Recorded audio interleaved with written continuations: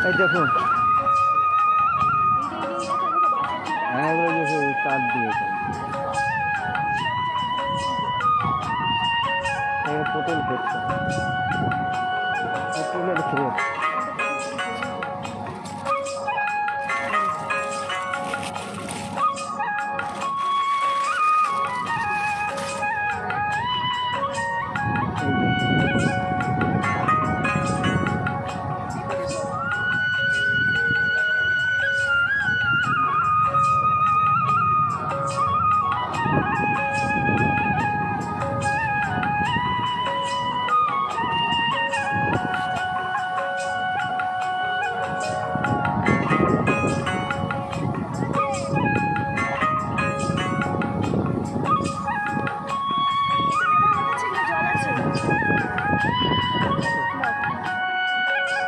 hello my love reviewers welcome back to my channel Dimpi lifestyle বন্ধুরা, দেখো, আজকে আমি এসেছি গাইঘাটা আমার দিদি বাড়ি।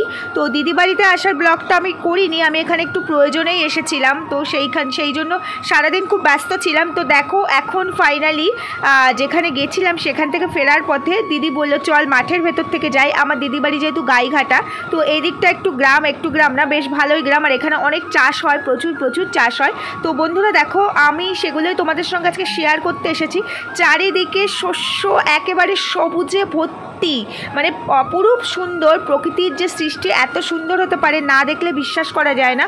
তোমাদের তো আগেই বলেছি, আমার বাড়ি যেখানে, আমার বাপের বাড়ি যেখানে বা আমি এখন যেখানে থাকি, কোথাও সেখানে কোনো চাষবাস হয় না। আর আমি এত সুন্দর চাষ সত্যি আগে কখনো দেখিনি, আমাদের ওখানে তো হয় না। তাই আমি কখনো দেখিনি, এত সুন্দর চাষ, এত সুন্দর মাঠে শস্য শ্যামলায় ভর্তি মানে এরকম দৃশ্য আমি সত্যি আগে দেখিনি। দেখো পটল গাছ কি সুন্দর, কি সুন্দরভাবে মাচা করে করে পটল গাছ লাগানো হয়েছে, কত পটল হয়েছে, দেখে যে আমার কি আনন্দ লাগছিল, এত ভালো লাগছিল। আমি ভাবিনি যে এটা শ্যুট করে তোমাদেরকে দেখাবো। দেখো কত মানুষ সেই এটাকে কি বলে আল? আল বলে আলের ওপর থেকে আমরা হেঁটে হেঁটে যাচ্ছিলাম, কত মানুষ যাচ্ছে। আর এ দেখো ধান পেকে পেকে উঠেছে, কি যে সুন্দর লাগছিল। আমি ধান চাষ দেখেছি আগে ধান চাষ দেখেছি মিন্স আমি বইতে দেখেছি, টিভিতে দেখেছি। তাছাড়া আমাদের ওখানে কিছুটা দূরে গেলে পরে আমি ধান চাষ সেখানেও দেখেছি। বাট পটল গাছ আমি ফার্স্ট টাইম দেখলাম, কাঁকরোল গাছ আমি দেখেছি, আমাদের বাড়িতে একটা দুটো হতো, তো সেইখান থেকে আমি কাঁকরোল গাছ চিনি। এগুলো দেখো সব কাঁকরোল গাছের চাষ হয়েছে। আর এই পাশে চারিদিকে যেদিকে তাকাবো সেদিকেই শুধু পটল আর পটল। পটলের চাষে ভর্তি হয়ে আছে। আর বন্ধুরা, আরেকটা কথা বলি, যখন দিদি বাড়িতে আসছিলাম তো যখন আমি অটো করে আসছিলাম, দেখছিলাম যে একটা জমিতে এত পরিমাণে তরমুজ হয়েছে, তরমুজ সব লোড করা হচ্ছে গাড়িতে। প্রচুর তরমুজ, আমার ইচ্ছে করছিল যদি আমি সুযোগ থাকতো আমি ওখান থেকে নেমে সেই তরমুজ গাছগুলো মানে সেই মাঠটার ছবি তুলে তোমাদের সঙ্গে শেয়ার করতাম। আর এই দেখো সব কাঁকরোল গাছ শশা গাছ মানে এত সুন্দর না যে আমি ভাবতে পারছি না।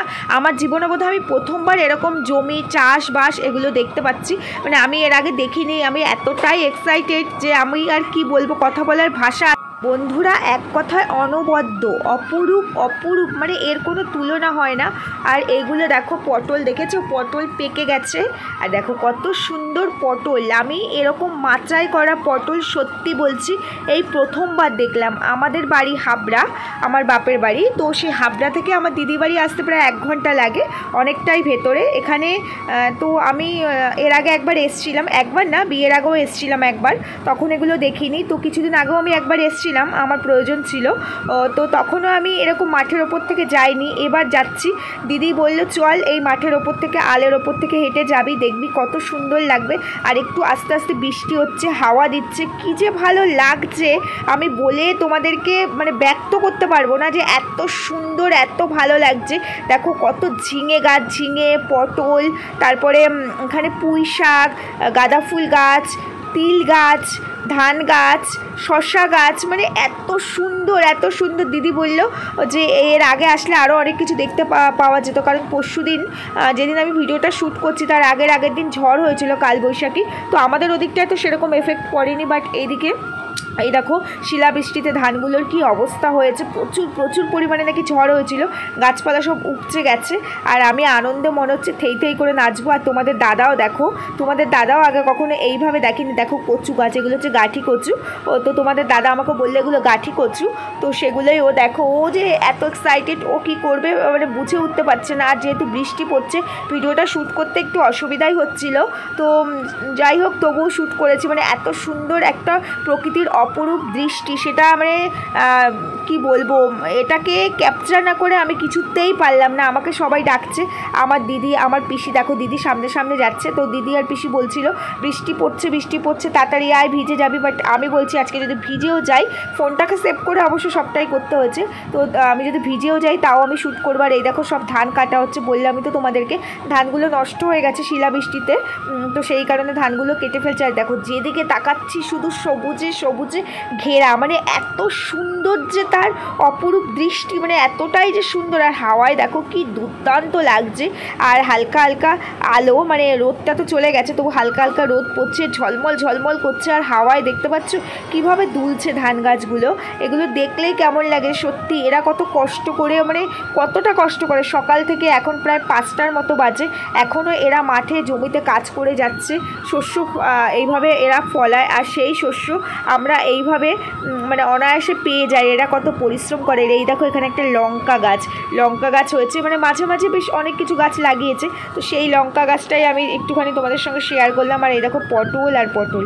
পটল আর পটল। এত ভালো লাগছে। আমি কিন্তু অনেকগুলো পটল চুরিও করেছি। মানে লুকিয়ে লুকিয়ে ভয় লাগছিল। যেহেতু এখানে অনেকেই আছে, অনেক লোকজন আছে যারা কিনা জমিতে কাজ করছে। তো আমি তাই জন্য একটু লুকিয়ে লুকিয়ে পটল চুরি করেছি। একটুখানি কি বলে শশা চুরি করেছি। তো চুরি করে টুক করে ব্যাগের মধ্যে ভরে দিয়েছি। মানে আমি না চুরি করে আর পারলাম না, যদিও বেশি না, দু চারটে তুলেছি, কারণ আমারও খারাপ লাগছিল যে এরা এত কষ্ট করে চাষ করে, সেটাকে এইভাবে নষ্ট করা উচিত নয়। আর এই পটলগুলো হয়তো আরও মেবি বড় হবে, আমি ঠিক জানি না, হয়তো বড় হবে বাট এতটাই ভালো লাগছিল, দেখে মনে হচ্ছিল আমি এখানেই থেকে যাই, আমি এখান থেকে কোথাও যাব না। প্রকৃতি যে এত সুন্দর করে সাজানো থাকে, সেটা আমি এই প্রথমবার দেখলাম। আর মানুষই এটাকে প্রকৃতি সৃষ্টি করলেও, মানুষই এটাকে প্রাণ দেয় তো মানুষের যে কি অপরিসীম ক্ষমতা সত্যি, যারা জানো, যারা গ্রামের দিকে থাকো, যাদের ওদিকে চাষবাস হয়, তারা তো জানো তাদেরকে আমার শেখাবার মতো বা বলার মতো কিছু নেই। তারা আমার থেকে অনেক অনেক অনেক গুণ বেশি জানো। কিন্তু আমি যেহেতু প্রথমবার দেখছি, তাই এক্সাইটমেন্টে কি বলব, কি না বলব আমি বুঝে উঠতে পারছি না। আর এই দেখো, দেখেছ? এখান থেকেই কিন্তু আমি পটলটা চুরি করেছি। ওই দেখো, আমি পটল ছিচ্ছি কিন্তু সেটা ভালো করে আমার বর দেখো না, ভিডিওটা করতে পারল না। বলছে, আমাকে তাড়া দিচ্ছে, বলছে, এই তোমাকে দেখে নেবে আর দেখে নিলে পরেই দেখবে, তোমায় কি কি বলবে প্রেস্টিজ একদম পাঞ্চার হয়ে যাবে। আরে চলো চলো, ছিটতে হবে না, কিন্তু আমি তো না ছিঁড়ে পারব না। আমি তো ওটা দেখেই পাগল হয়ে যাচ্ছি। আমি বলছি, না, আমি একটু পটল ছিঁড়ি, না ছিঁড়লে আমার মনের আশাটা ঠিক পূর্ণ হবে না। বেশি ছিঁড়বো না, শুধু দুটো ছিঁড়বো। এই বলে আমি চুপি চুপি করে, চুরি করে টুক করে ছিঁড়ে নিয়েছি আর পুক করে ব্যাগের মধ্যে ভরে দিয়েছি। আর দেখো কি সুন্দর করে মাচা করেছে, লাইন করে করে এত ভালো লাগছিল। আর এই দেখো চলে এসেছে শশা। এখান থেকে কিন্তু আমি একটা শশাও ছিঁড়েছি। মানে না ছিঁড়ে আর পারলাম না এত যে সুন্দর। আমি মানে পাগল হয়ে যাব। কীভাবে কথা বলব? ভয়েসটা পরে দিচ্ছি। আর যখন ভয়েসটা দিচ্ছি তখনও আমি এগুলোকে দেখতে পাচ্ছি এত সুন্দর মানে এত ভালো লাগছিল। তখন তো ক্যামেরা করার আনন্দে আর ওইভাবে ফিল করতে পারিনি। বাট এখন দেখে যে এত ভালো লাগছিল। আর এই দেখো ফাইনালি শশাটা কিন্তু ছিঁড়ে ফেলেছি। আর ছিঁড়ে আমার বরকে বলছি "এই, এই নাও নাও নাও রুমালের মধ্যে তুমি লুকিয়ে নাও লুকিয়ে নাও। এখন আমি ব্যাগের চেনটা খুলতে পারছি না আমি শ্যুট করছি। আর আমার দিদি দেখো বৃষ্টি পড়ছে বলে মাথার ওপরে একটা ব্যাগ দিয়ে দেখো, ও দাঁড়িয়ে আছে আমাদের জন্য চিৎকার করে বলছে, আরে আয়, বৃষ্টি পড়ছে, আয়। বৃষ্টিতে ভিজে যাবে আর আমার বর দেখো এক্সাইটমেন্টে আমার বড়ও দেখো শশাটাকে দেখাচ্ছে যে দেখো, এই দেখো আমার বরের জামা ভিজে গেছে, দেখেছ? বৃষ্টি পড়ছে। তো বৃষ্টি পড়ছে বলে না খুব ভালো করে শ্যুট করতে পারিনি মানে খুব তাড়াতাড়ি আর কি এখান থেকে চলে যেতে হয়েছে। আর এগুলো দেখো তিল গাছ, তিল গাছে ফুল এসেছে। তিল চাষ আমি দেখেছি, আমাদের ওখানে একবার হয়েছিল, তো সেখানে আমি দেখেছি। বন্ধুরা, কেমন লাগবে ভিডিওটা জানাবে আশা করি ভালো